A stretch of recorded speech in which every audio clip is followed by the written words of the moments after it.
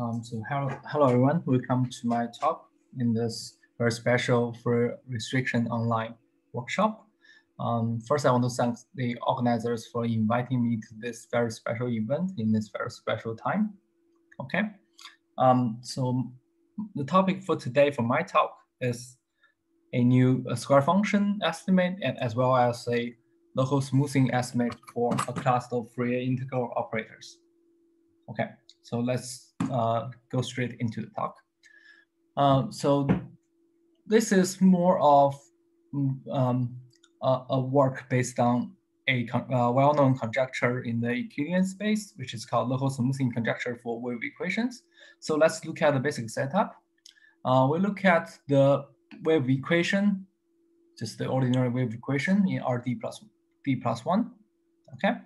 Then there are some classical estimates which tells you how the solution behaves in terms of the LP norm of the initial data. Here it's U0 and U1 here. Okay, and those are fixed time estimates, which means that we are doing this for each fixed time t. Okay, so this constant depends on t, but if you take t in the compact interval, this will be uniform. Okay, and um, there's also this SP here, uh, which is the exponent for the, the loss of regularities you expect when you do this kind of fixed time estimate. Okay, and this will be sharp in terms of the loss of regularity.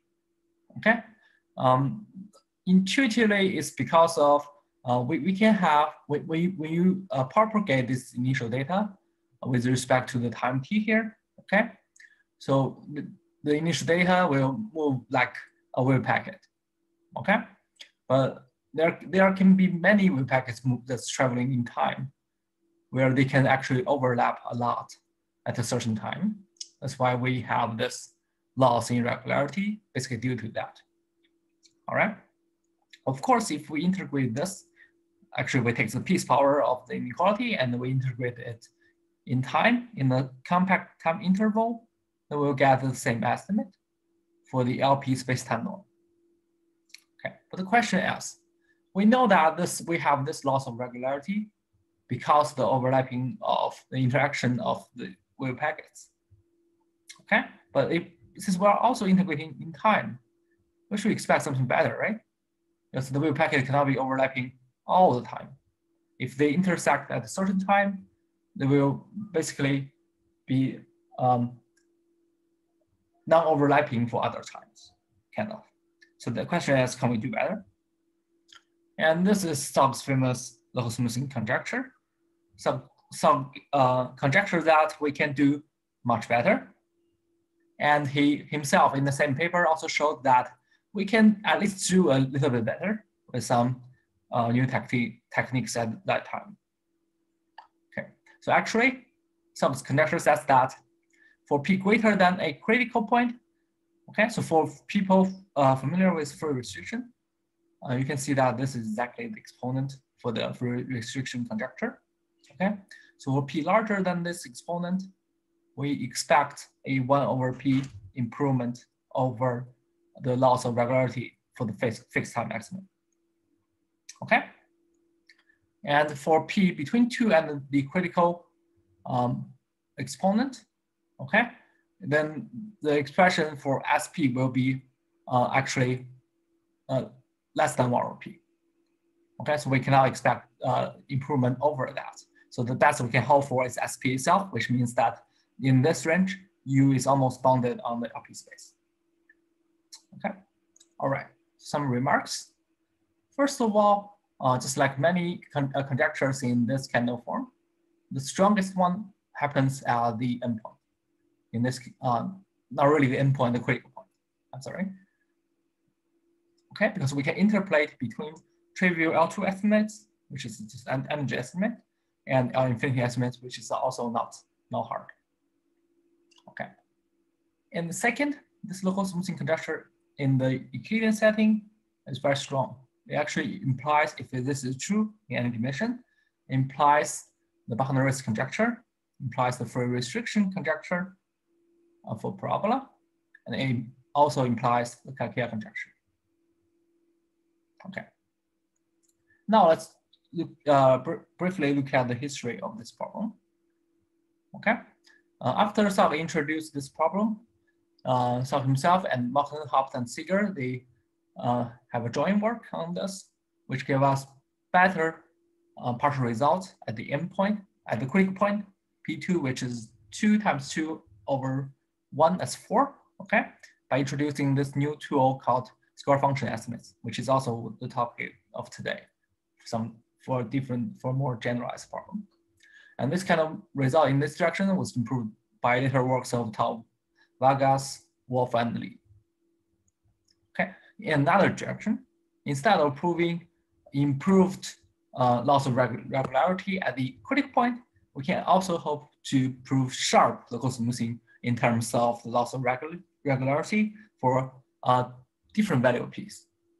Uh, Wolff actually did this. He proved that he, he, was the first one to prove any sharp local smoothing estimate. He proved it for large p, okay, in 2D plus, uh, in 2 plus 1D by introducing a concept now known as decoupling inequalities for the cone. And this in this direction, it was later proved by Garrigós Seeger, Schlag and and so on. So this improvement, by improvement, I mean getting a larger range of P by proving uh, better, uh, more refined coupling inequalities. Okay. And Vargas um, tried in another direction. So Wolff worked in the large P uh, case, Lee and Vargas worked in the small, smaller P case, but they used the same tool as was de developed by Mockenhaupt, Seeger, and Sogge by proving sharp um, new uh, square function estimate. They proved the sharp local smoothing estimate for P uh, strictly less than four. It's the actually between two and three in two plus one. Okay, and Bourgain Demeter was the, one, uh, was the ones to actually close the story in this direction they proved the sharp decoupling inequalities, which only works for p greater to six in two plus one D, okay? And that will imply uh, the local smoothing conjecture for the same range of p, so p greater equal to six. The conjecture range is p greater equal to four. So they're very close, okay? And another remark is that their result also works in higher dimension. So not only for p greater equal to six, as actually for p greater equal to 2d plus 1 over d minus 1. So that's actually the uh, Tomas-Stein index. Okay.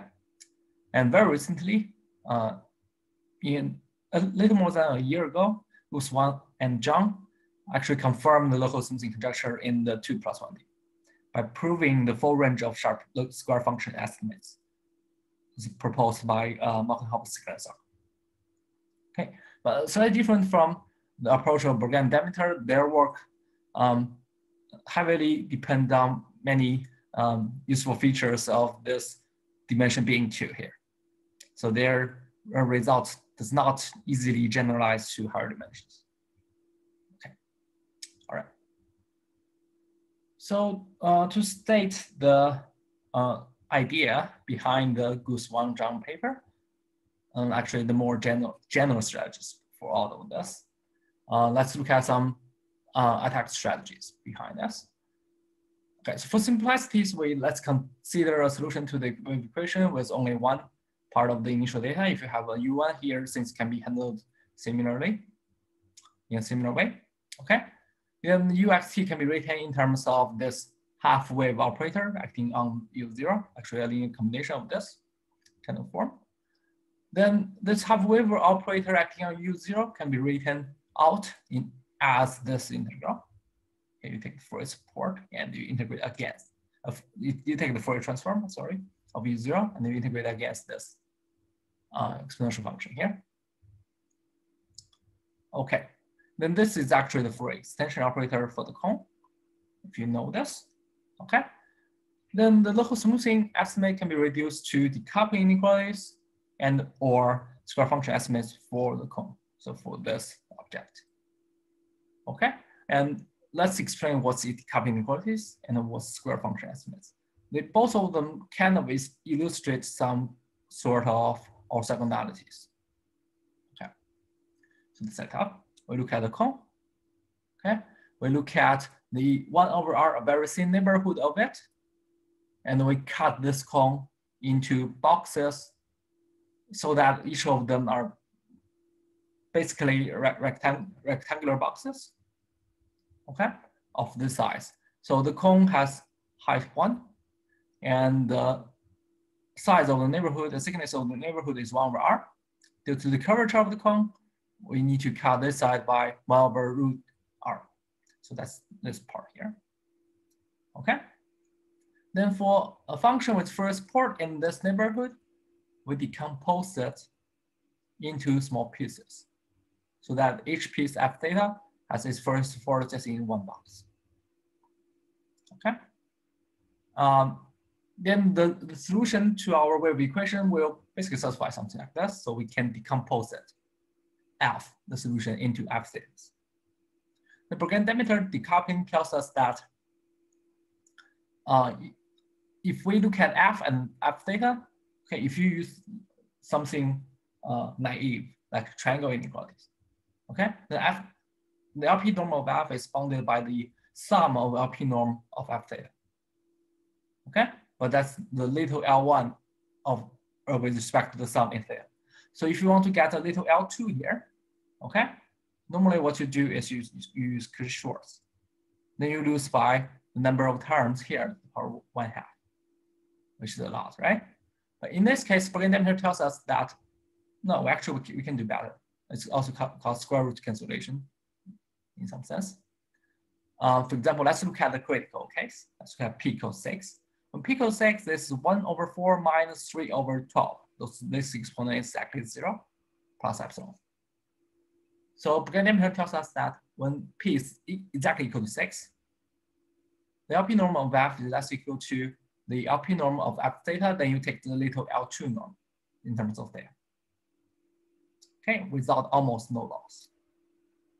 Okay, so that's very good. Uh, very similarly, the square function estimate is kind of in the same form, but instead of taking LP norm first, then take the little L2 norm, we take little L2 norm pointwise first, then we take LP norm. Okay, so actually by uh, Minkowski inequality, this quantity is always smaller or equal to this quantity. So square function estimates for same piece, they are stronger than decoupling, but we don't use them really in the same range. Okay, so the, the story is following. Any estimate of this form in terms of decoupling, if you use the standard little with, with Paley theory, uh, this will imply local smoothing for the same P. Similarly, any uh, square function estimate of this form for NEP less equal to 4, they will imply the corresponding local smoothing estimate for 2 plus 1. Okay? Well, the, the thing is, if you want to get to the local smoothing estimate at the critical point p equals 4, only square function estimates works. Because if you want this to happen for p equals 4, you can see that this power here when p equals 4 will be negative. Okay, but the right hand side is at least as large as the left hand side for the generic cases. So this can, cannot happen. Okay, so if you want to prove the full um, smoothing conjecture, you need to go this route. This can, even though this estimate in terms of p is sharp, it cannot give you expected local smoothing conjecture. All right. Okay, so the question, and it's also the result for our work is, do we have the same thing for uh, Riemannian manifolds? Okay, similar con conjectures can be discussed in that case. Okay, we can replace Rn by a manifold. Okay, then there are some corresponding conjecture. Uh, something very actually very in, uh, interesting happening here. Usually people will expect we have the same thing, right? We should expect the same critical exponent, but it's actually not the case here. I will uh, speak a little bit more on this uh, after we when we go to the history of the problem. Okay, but that's the conjecture. We have something here. We still expect one over p local smoothing estimate, but for a different range of p's. Okay, so histories. Of course, when we talk about local smoothing, we need to compare the estimate to the fixed time one, right? Um, and actually we do have the same fixed time estimate due to Seeger Sogge-Stein. Okay, uh, in the later work of Mockenhaupt, Seeger, and Sogge, they give the same, uh, they give the first non-trivial local symmetry estimate for um, the Riemannian case at the old critical point to the over d, minus one. It's non-trivial, but it's a very small improvement.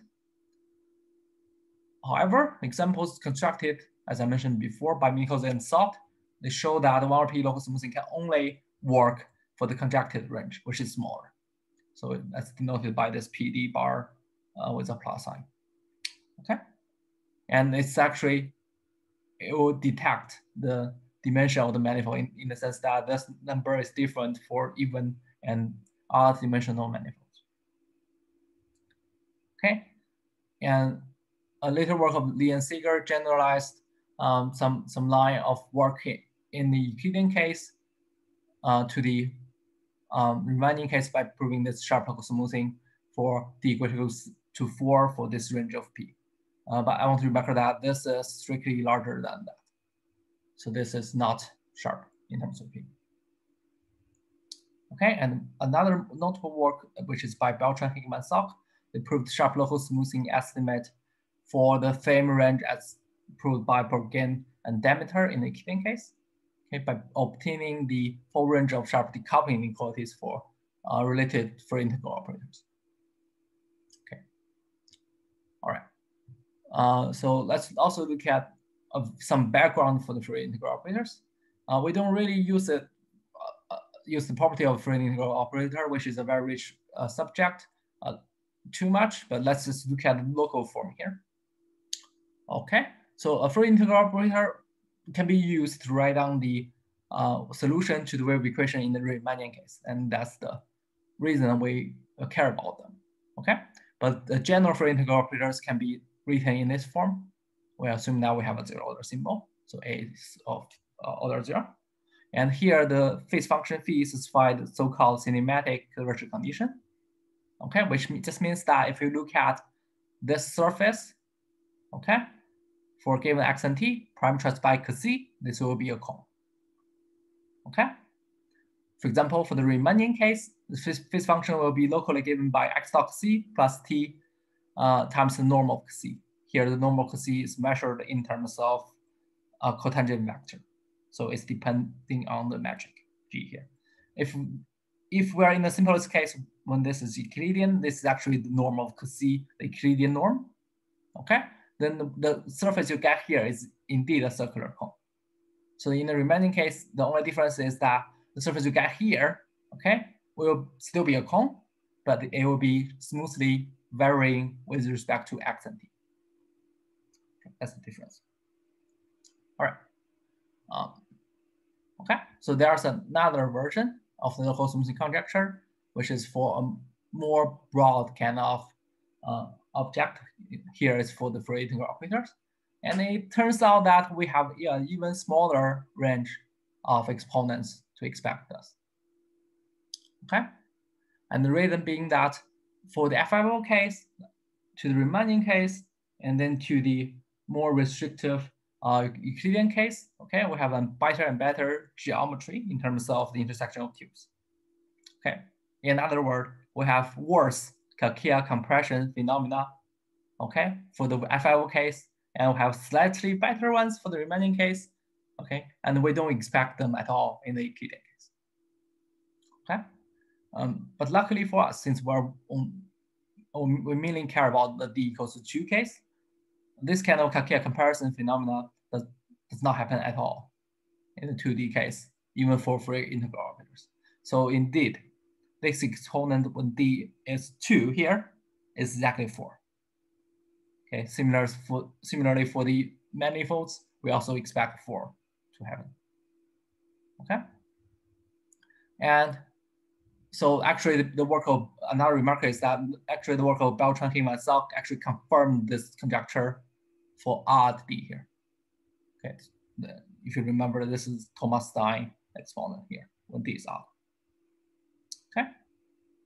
All right. So here's our main result. Uh, basically we'll verify the conjecture for uh, FIOs, okay, for d equals to two, okay?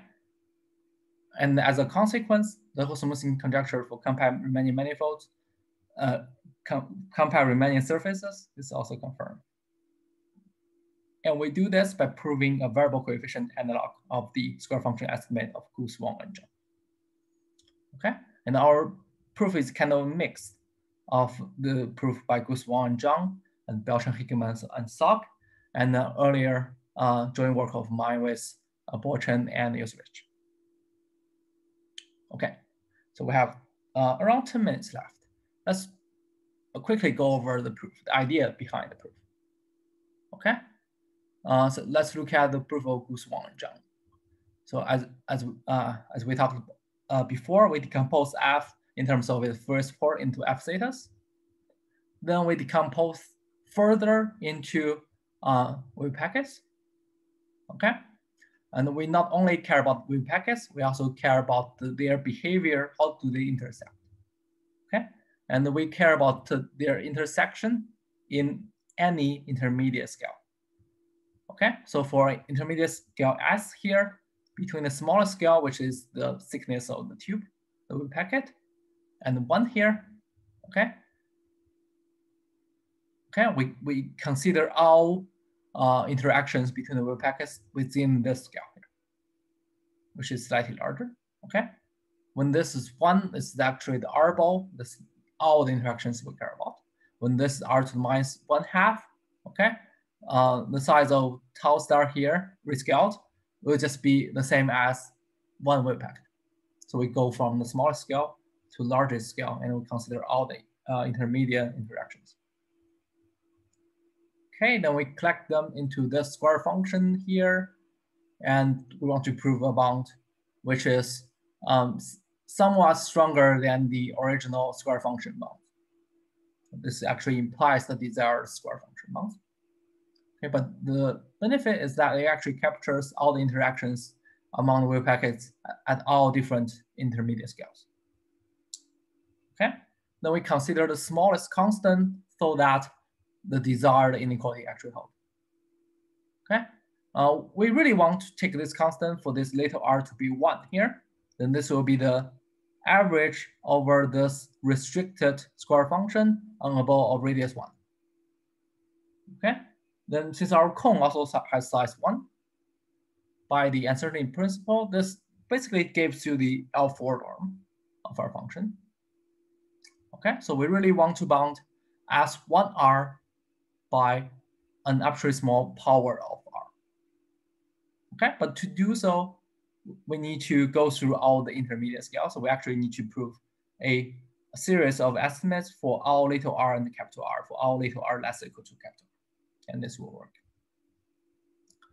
Okay, so the idea is the following. They use three mean estimate.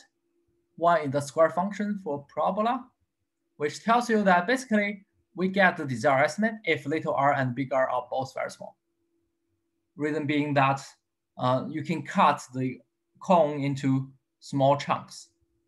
And each small chunk, each small thin slice of the cone, you can approximate the cone by a, uh, a parabolic surface. Then you, you, use the square function estimate for the parabola, uh, not a parabolic surface, I'm sorry by a neighborhood of a parabola. Then you use the square function estimate for the parabola to get this. But of course, we cannot get very uh, this for very large k. It doesn't work. And another estimate, which is the mean estimate of their paper, which tells you that, okay, you can actually go from, uh, let's take the smallest value for R1, that's little r. Okay, so we can go from r little r to little r squared for free. We do not lose anything. This is the uniform constant. Okay. And then we need also another ingredient for the uh, induction, right?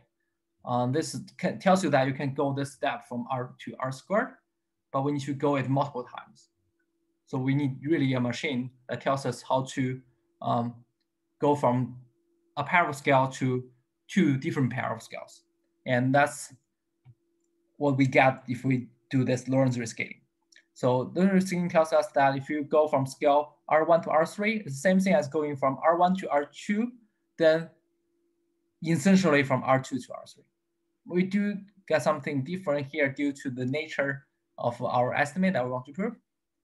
But the point is we want to induct on the ratio between little and r and capital R. So here, if R2 is in between, strictly in between R1 and R3, okay, then this R3 over R2 will be smaller than R3 over R1. So for this estimate, we can use our in induction hypothesis to control this. Okay. Okay, so the thing is, uh, if little r is small, okay, then we go from R1 to R3, we go from little r to capital R by going through this intermediate scale little r times k to the power one half. Then this inequality can be used. When little r is large, okay? Then R and R square are far apart from each other. We just go through this R square intermediate scale to close the induction. Okay, that's their proof.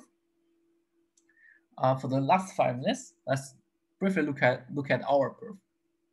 Okay, so the setup is very similar, but one very thing, very important thing I want to point out is that in the variable coefficient case, in the Fourier integral operator case, we do have one more parameter, which is the kind of the scale coming from the problem, okay? Because we're looking at oscillations of with frequency about lambda, okay? We need to rescale the space by lambda so that uh, the oscillation is basically has size, the, on the frequency side, the size is, is about one. It's just like the cone has to be of size about one, okay? So this is the ambient scale, scale lambda here, coming also kind of com coming from Littlewood Paley decomposition. Okay. All right. Um, so, but that's basically the only difference. We still want to prove some square function of this kind of the same form. The only difference that um, in before the little f theta has our desired Fourier support assumption little f is supported near a cone, but here our capital F theta and f does not enjoy do not enjoy such good Fourier support property. The, for example, F theta is only supported near the cone, but the cone is different from each point. So it's really an object on the cotangent bundle. It's not really the same for every point. Okay, we can also formulate the same uh, stronger uh, square function estimate as in Wang and Zhang. The only difference is that our U here, our um, wave packets will be curved, of course. Okay. Um, so we have, we define the same smallest constant, but here we have one more parameter, which is lambda. Okay, we still want to prove the same estimate, which is basically implies that if little r is one, capital R is very close to lambda, this is almost bounded, which will imply the desired local smoothing estimate. Okay, our proof also requires three inputs. The first one is a small scale estimate. Okay, the idea behind this is actually very straightforward. Um, so if you look at the picture in a variable coefficient case, the geodesics are curves in local charts, so they're not really straight lines. We cannot apply the Euclidean result directly, but if you zoom in enough, okay, in very, very small scale, in a tiny scale. The geodesic looks almost like a line. Then by the uncertainty principle, it's actually contained in a certain neighborhood of a line. So everything will be straight in that case. So at tiny scales, actually at scales way smaller than lambda one half to the power one half, we still get uh, the inequality of Guth-Wang.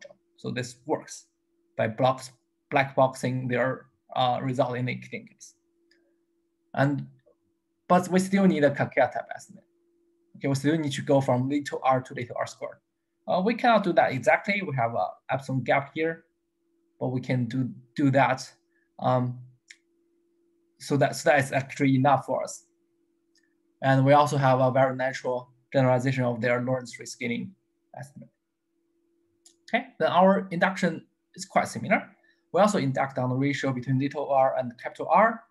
When the both scale are very small, okay? Uh, extremely small, it's covered by the Euclidean case. because everything looks like Euclidean case. When both scale are very large, um, but capital R here is less equal to our ambient uh, frequency lambda, then the relation between them is at, at most the square, because little r is greater or equal to square root of lambda. Capital R is less equal to lambda. So the relationship between them is also a square function. Okay, then it's covered by the Kakeya type estimate.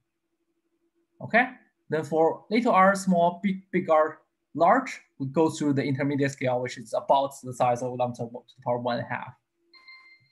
Okay, to close the induction. All right, that, that's our proof. Okay, so thanks for coming to my talk.